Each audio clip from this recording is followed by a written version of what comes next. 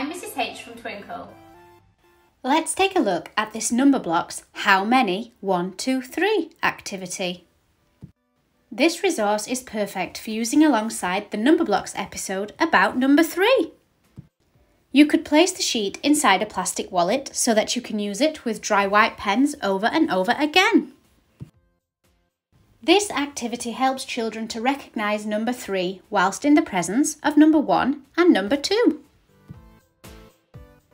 Children are encouraged to count the object and then circle the correct Numberblocks character.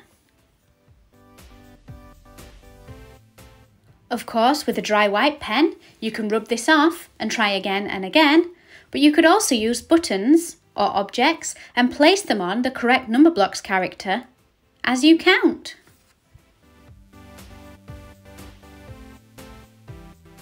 At the end of this activity, children are invited to extend their thinking by answering two reasoning questions.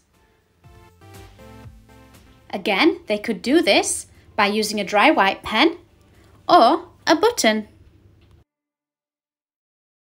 See you next time.